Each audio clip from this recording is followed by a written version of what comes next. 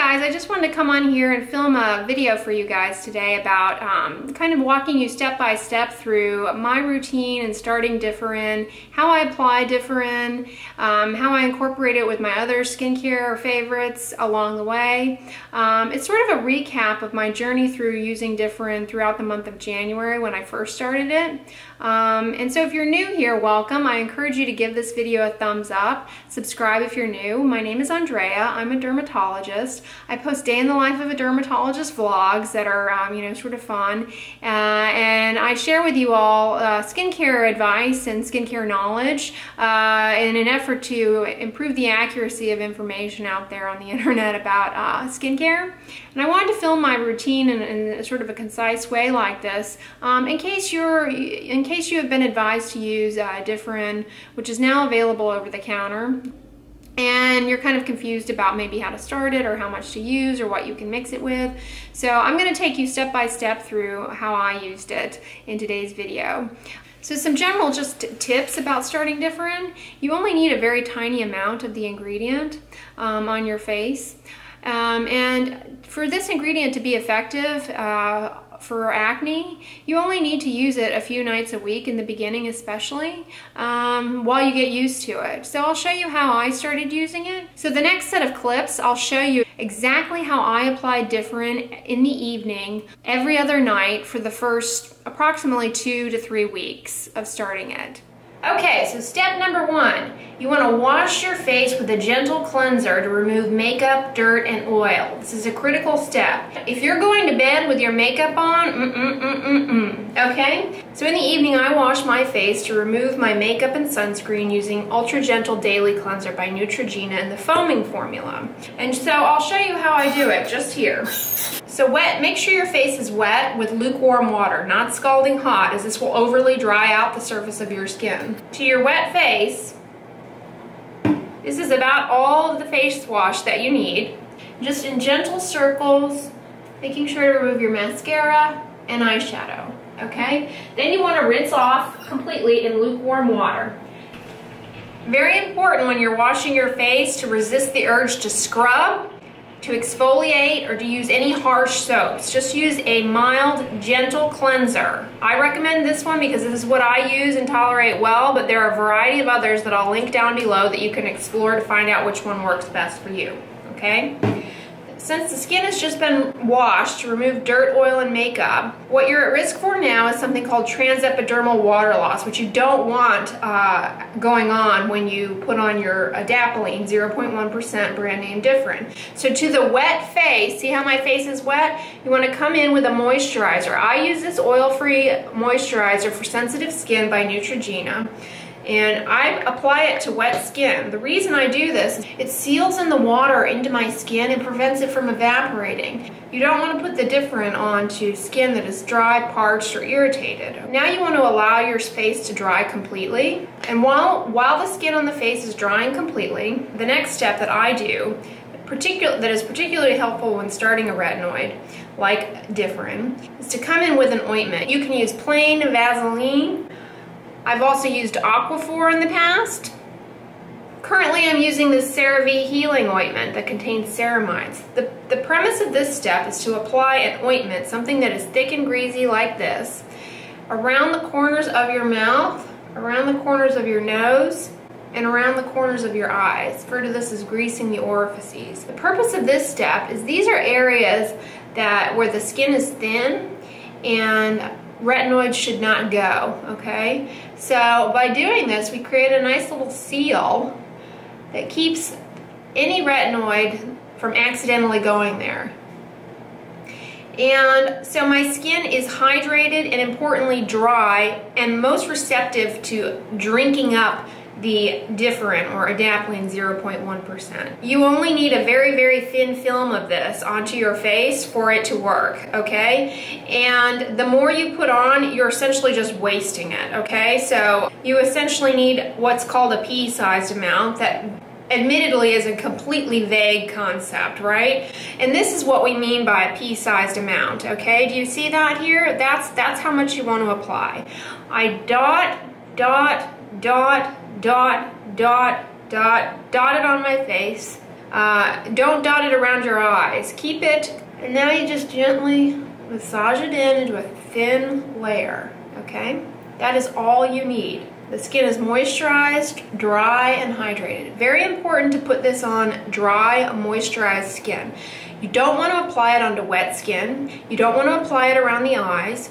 Do not apply it to the neck, okay? These aren't areas where this should go. Adapalene 0.1% will effectively get into the oil bearing surfaces of your skin within five minutes of application.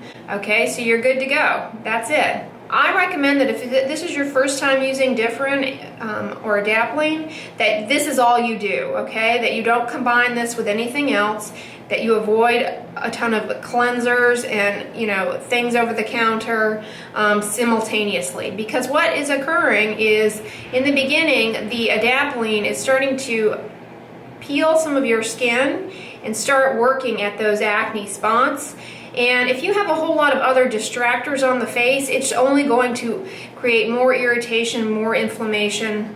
It's only going to further uh, inflame the skin and, and make this uh, insufferable process for you. So keep it as simple as possible.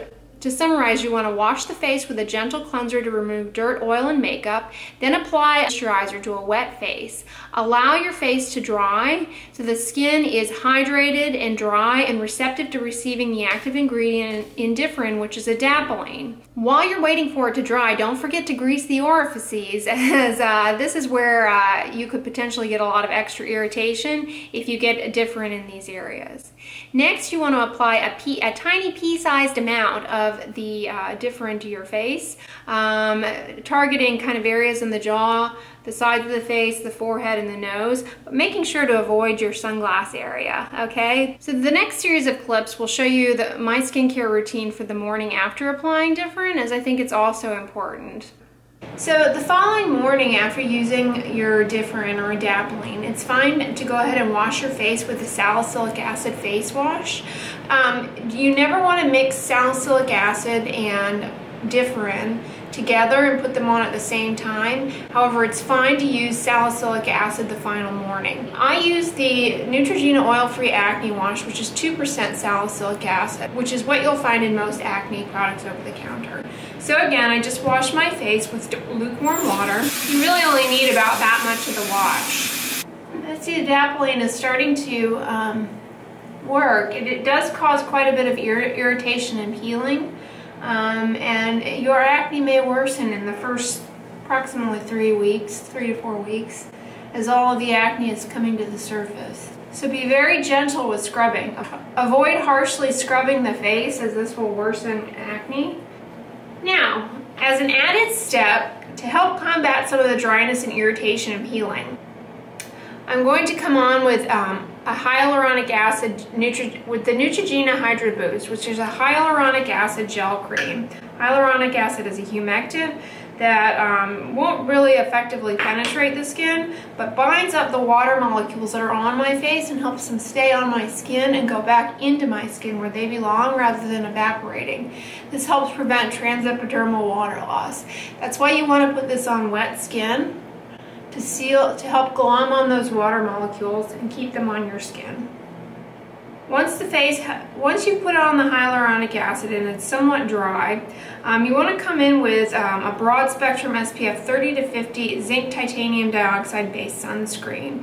Um, this is incredibly critical while using Differin, uh, parentheses adapalene, or any other uh, retinoid like tretinoin or tazarotene, as these medications thin the top layer of the skin and increase the increase the amount of, of light exposure that you're going to get. And I prefer zinc or titanium and zinc or titanium dioxide based sunscreens are best because these physically block the sun. They tend to be well tolerated, they tend to not sting, um, and they're effective immediately. I like this brand, I like this one by CeraVe. It's SPF 50. Um, I'll link it down below. It has uh, zinc in it and titanium titanium dioxide is lightweight, oil-free. This will not break you out. Contrary to what you may think, this will not break you out, okay? Excessive sun exposure will worsen acne, but this will not break, this particular sunscreen especially will not break you out. Um, and it also has ceramides in it. Ceramides are a component of the natural skin barrier that are important for, for keeping the skin hydrated and healthy. So I like this. You put this not only all over your face, but on your neck and your ears. This is so important because when acne is either inflamed, because acne can heal with a dark mark when exposed to the sun, and being on a retinoid thins the top layer of the skin, allows more sun to come in, and increases the chances that the acne that you have uh, will, will heal with a dark stain, which you don't want. Then I come in with a second zinc titanium dioxide based tinted sunscreen. The reason I come in with a second one is uh, for makeup and a little bit of added protection. I like using this Elta MD um, broad spectrum tinted sunscreen, which I'll link down below. Um, and some people, many people ask me if this sunscreen can be used by itself. I don't use it alone. I always use a base layer. The reason being, I don't like to waste tinted sunscreen. I don't like putting tinted sunscreen on my ears and neck and all of these other places. I, I mostly use this um, for added sunscreen and kind of like a concealer under my eyes. You're good to go. When starting Differin or any other retinoid like tazarotene or tretinoin, I recommend minimalist makeup if at all possible because makeup has a variety of dyes and other ingredients that can be irritating to the skin. The skin is already going to become inflamed with the uh, retinoid and acne is inflammatory and is trying to heal and the more stuff that you put on your face it becomes more of a, a battleground. So I recommend just uh, sunscreen, tinted sunscreen as a makeup if you want and you know minimal eye makeup while you're using this ingredient and, and really in general, a very, very important step in your skincare routine uh, is to apply a broad spectrum sunscreen. It's really important while you're on something like Differin for acne or really any acne treatment because most acne treatments thin the top layer of the skin and make it more susceptible to sun getting in, uh, which can lead to darkness and discoloration as well as kind of uh, making it difficult for the acne to heal. All right, so in the beginning, when you're first starting Differin, you can expect to experience um, a few a few weeks of what's called the Differin purge, in which your acne initially gets a little worse. You also will have quite a bit of irritation. That's why I say go slow, and I that's why I, I say go slow, and that's why I started using this cream every other night rather than nightly. A, because it's been shown to be effective when used that way, and B, I didn't want my skin to get overly irritated and dry. So that's that's a good way to start this is to go every other night and go slow. That dryness irritation and peeling will improve with time and eventually your acne you will start to see an improvement in your acne after a few months of consistent use. Sometimes you can begin to see improvements though within the first few weeks of using this ingredient. So i encourage you to stick with it and keep the routine simple once things were going well for me and I didn't really have any irritation or peeling, um, approximately two and a half weeks, at approximately the three week juncture, I changed things up a little bit and brought back in another skincare ingredient into the lineup at night, and I'll show you how I did that here. So adapalene, 0.1%, can be combined with can be combined with benzoyl peroxide. Um, salicylic acid cannot be combined with differin, okay? So bear that in mind. Look at the active ingredient of your, your other um, medication. Okay. Step number one, wash the face, okay? Step number two, to a wet face, apply your moisturizer. Step number three, grease the orifices to protect them from any of the retinoid going in. Allow the skin to just sit there and dry, air dry a moment, okay? No scrubbing, no buffing, no sauna blading or whatever, none of that, okay? This is the pea that you need. Dot, dot, dot, dot, dot, dot, dot him on the face and rub him in. Just a thin film, that's all you need. Can you appreciate that, guys? Thin film. And So next, I'm going to come in with benzoyl peroxide 2.5% in this, um, the brand is Rapid Neutrogena Rapid Clear. Just know the active ingredient is benzoyl peroxide. 2.5% benzoyl peroxide is as effective at clearing lesions of acne as higher percent strengths, for example 10%, but with less irritation, okay? So there's no need to necessarily go higher with this. And again, just a P dot, dot, dot, dot, dot, dot, same areas. So that's how I combine differin and benzoyl peroxide. I call this the Epiduo dupe because Epiduo is essentially adapalene 0.1% and benzoyl peroxide 2.5% combined in a cream. Okay, but now you can get this over the counter and you always could get benzoyl peroxide over the counter. So you got an Epiduo dupe. So I brought in another skincare ingredient that I had been using previously, um, and that's benzoyl peroxide. Benzoyl peroxide can in fact be combined with adapalene. It's perfectly safe to do so.